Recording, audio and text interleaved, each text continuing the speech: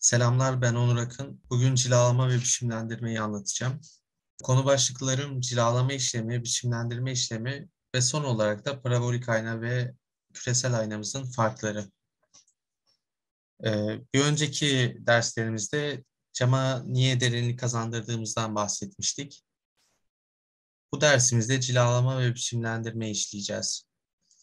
Cilalamanın temel amacı camımızı parlatmak olacak. Çiziklerden ve kavislerden arındıracağız. Biçimlendirme işleminde ise elde ettiğimiz e, küresel aynamızı parabolik bir aynaya çevireceğiz. Öncelikle şu malzemelere ihtiyaç duyacağız. Seryum oksit, optik reçineli bir alete ihtiyaç duyacağız.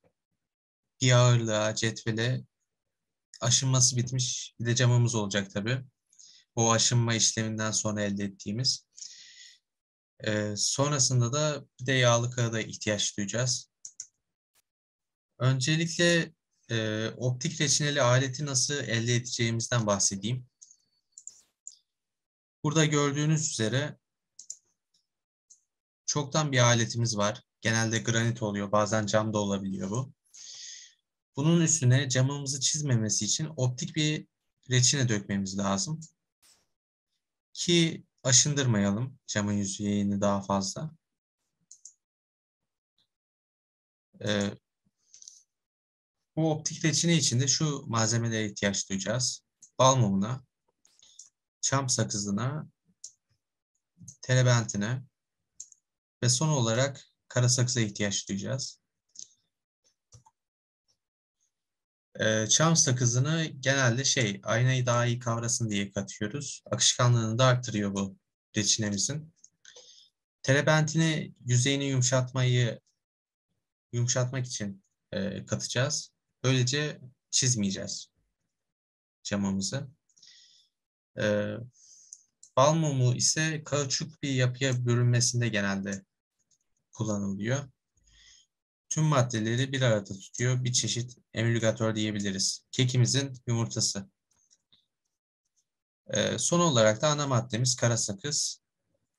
Ee, tüm işi bu yapıyor.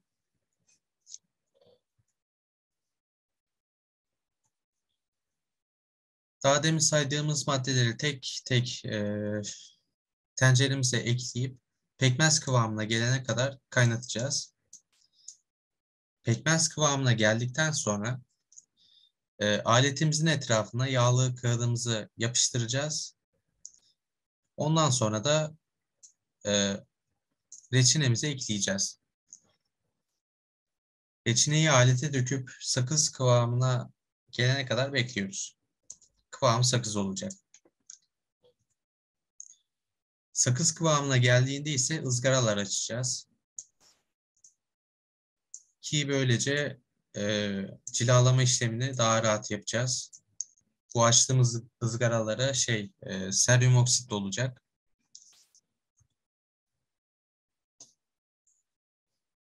E, ızgaraları açtıktan sonra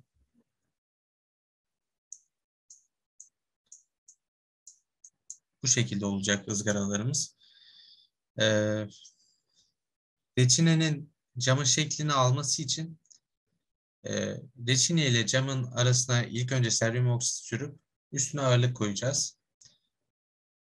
E, burada seryum oksit sürmemizin sebebi e, optik reçine hala biraz sıcak olduğu için cama yapışacak tabii ki. Cama yapışmasını önlemek adına bu işlemi yapacağız. Tabii isteğe bağlı olarak ek çapraz kanallar da açılabilir. Şurada gördüğünüz üzere. Burada çapraz kanallar açılmış ekstradan. Böylece işte seryum oksidi daha iyi yedirebileceğiz aletimize. Ee, optik aletimiz yaptıktan sonra e, cilalama işlemini böyle yapacağız. Ee, 1 bölü 3 geriye gidecek, 1 bölü 3 ileriye gidecek şekilde daha fazla camı dışarıya çıkartırsak e, camın kenarları kavislenir. Böylece şekli bozulur. Bu da astigmatizm gibi birkaç e, optik kusura yol açar. Bunu da istemeyiz. Tabii bu işlemi yaparken hep aynı yerler aşınmasın diye bir de döndürmemiz lazım. Ki daha iyi bir şekilde e, cilamızı yapalım. İnç başına yaklaşık bir saat cilalayacağız. Cilamız bittikten sonra ronç testimizi yapıp e, yüzeyin istediğimiz gibi olup olmadığını kontrol edeceğiz. Ronç testini Şevval arkadaşımız anlatacak.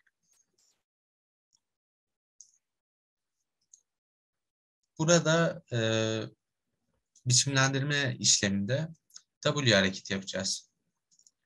Şu şekilde zikzaklar çizeceğiz. Yani ileri geri hareketi yok burada.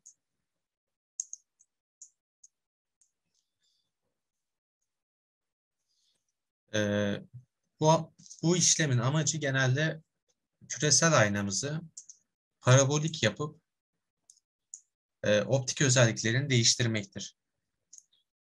E, cilada uyguladığımız kuvvetin daha azını uyguluyoruz bu aşamada ki e, fazla parabolikleşmesin ki bu da ayrı bir sıkıntı. Tabii kullandığımız seryum oksit de daha sulu olacak. Yaklaşık 20 dakika falan harcayacağız bu işleme. Ee, biraz daha astigmatizmden bahsedeyim. Astigmatizm e, ışığın tek bir noktada toplanması gerekirken birden fazla noktaya odaklanmasıdır. Bu da işte e, bir cismi birden fazla e, bu şekilde görmemize sebep oluyor bu göz kusuru.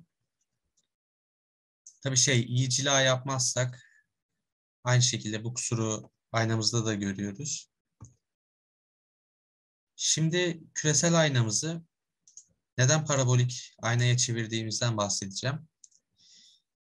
E, genel itibariyle e, küresel aynamız, çukur aynamız bu noktaya odaklarken e, parabolik aynamız daha küçük, e, daha kesin bir noktaya odakladığı için e, F9 odak oranından daha düşük aynalarda küresel ayna yerine parabolik aynaları tercih ediyoruz. Böylece daha iyi bir görüntü elde ediyoruz. Bunlar benim kaynaklarım. Beni dinlediğiniz için teşekkür ederim.